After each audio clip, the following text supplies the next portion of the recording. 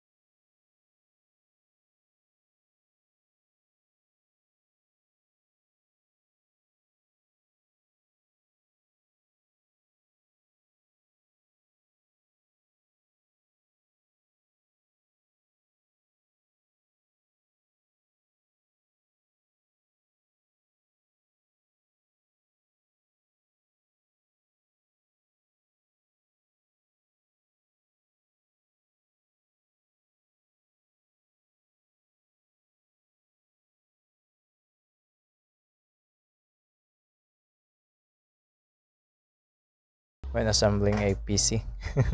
so my wirings, uh, it can be seen on the uh, right side of the